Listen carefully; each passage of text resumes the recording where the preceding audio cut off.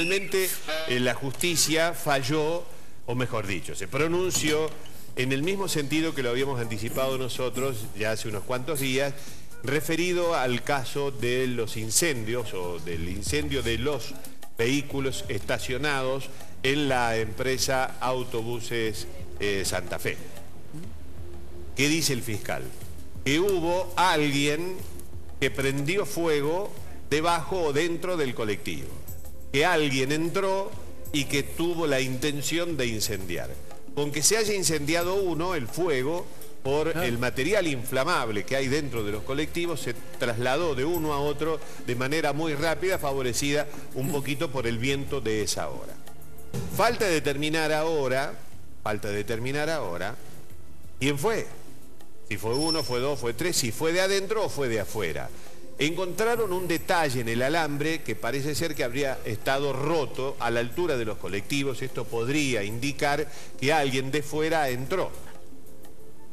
Pero no se descarta la posibilidad que también lo hayan hecho de adentro y que hayan roto el alambre de adentro para simular o para sacarse el, este, digamos, la investigación de encima. Eso para también, desviarla, para desviarla, eso también lo tiene el fiscal, por eso que ha enviado para que peritos puedan descubrir si el alambre fue roto de afuera hacia adentro o de adentro hacia adentro. Si fue tirado hacia adentro, si hay huellas que puedan determinar de cómo fue el accionar de quienes rompieron ese alambre. También cabe la posibilidad que el alambre haya estado roto de otros días y que el incendio lo hayan provocado de adentro. Llamó mucho la atención la semana pasada que desde la UTA llamaran a conferencia de prensa para hacer un anuncio.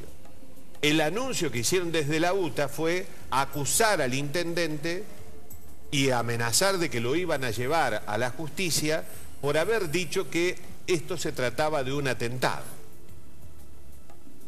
Y obviamente si se trataba de un atentado, los principales sospechosos son los trabajadores de la UTA, en su totalidad. También le cabe, este, mejor dicho, trabajadores de la empresa que están afiliados a la UTA. Porque a quién otro más se le ocurriría quemar un ómnibus en un momento de conflicto. Porque en realidad hay un momento de conflicto. Bueno, esto lo va a determinar la justicia. Si fueron o no fueron. Por eso nos pareció extemporáneo, sin sentido, la conferencia de prensa de la UTA como diciendo yo no fui y esto no fue un atentado. atajándose de antemano. Como atajándose de antemano. Es muy probable que este, la UTA no haya sido, pero algún afiliado debiera haber sido o podría haber participado porque justo en un momento de conflicto con una empresa en la que están en conflicto. Dicho sea de paso, no es la primera vez que se queman ómnibus en Córdoba. Así es. En, en las terminales y tampoco es la primera vez que queda impune. Aunque en un caso está ahí dando vuelta la figura este, de culpabilidad sobre una persona.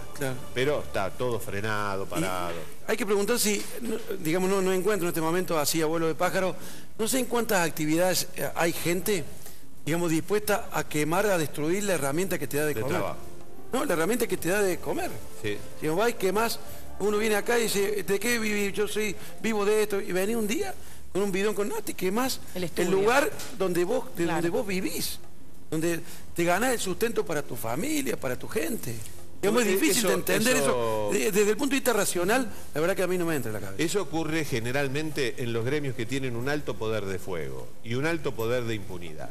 Ocurre en la municipalidad, que rompen eh, cada vez, hemos visto nosotros, manifestaciones, bueno, tan es así que en una el sindicato tuvo que pagar los vidrios de la municipalidad, rotos por las bombas este, y por las agresiones de los propios militantes. Al menos dijeron que lo tenían que pagar, nadie sabe si se lo descontaron. aparentemente, dicen que sí, que se lo han descontado, habría que ver si lo han pagado, yo creo que lo han pagado. Está bien, pero la MUNI rompen un semáforo, o rompen los vidrios y en el prorrateo creo que lo terminamos pagando entre todos.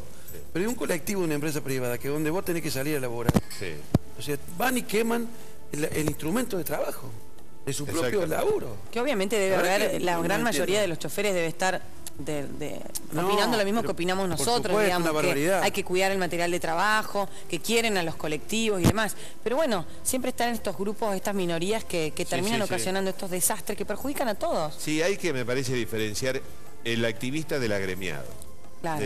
una cosa es el activista y otra cosa es el afiliado. Este, por, supuesto, Generalmente los gremios tienen un equipo de combate, de, que sale, un equipo de trinchera, que sale a la calle y que... Un grupo de este, choque. un grupo de choque que son los que siempre protagonizan estos hechos, que son los que, le rompen las cámaras a la prensa, que golpean a los periodistas, que, se pelean con la policía, que rompen los vidrios. En este caso... Este si no son los afiliados, son ese grupo de choque bancado siempre por los sindicatos. En este caso este muchacho que está en el ojo de la tormenta, que es la, persona que, motivó, cuyo despido motivó toda esta situación, en el caso puntual de él, sacándole una botella de Fernet a una persona que iba pasando. Exactamente. Porque estuvo, estaba imputado por eso imputado por eso. Una persona que iba pasando con una bolsa del súper y le manoteó una, una botella de, Fernet en medio De, una, manifestación. Y le robó la botella de Fernet. Sí, sí, sí. La se la llevó.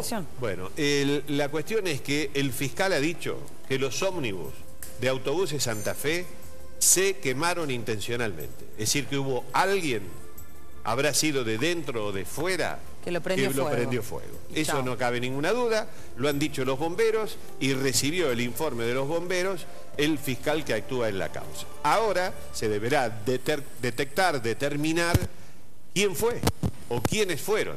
Si fue intencional, si no fue intencional, una casualidad, que alguien pasaba con una molotov y se le cayó abajo de un ómnibus. Puede ocurrir, puede ocurrir. por esa zona del barrio. Claro, por esa zona. Bueno, está claro que eh, esto está todo vinculado entre sí, está vinculado la interna gremial, está vinculado el despido de este muchacho, está vinculado la bronca que viene existente con, con esta empresa por su participación en el servicio de transporte urbano de pasajeros, en fin, está complicado todo allí en la UTA que cometió un yerro comunicacional la semana pasada, con, o, sí fue, o esta semana, la semana. pasada, la semana pasada, un yerro comunicacional de llamar a una conferencia de prensa para este, deslindarse las responsabilidades cuando todavía no había este, terminado la este, investigación, o decir que no fue un atentado cuando todavía no estaba terminada la, investigación. Y pedirle a Mestre que se retractara, que, pidiera disculpas del intendente. pidiera disculpas de algo que acaba de confirmar el,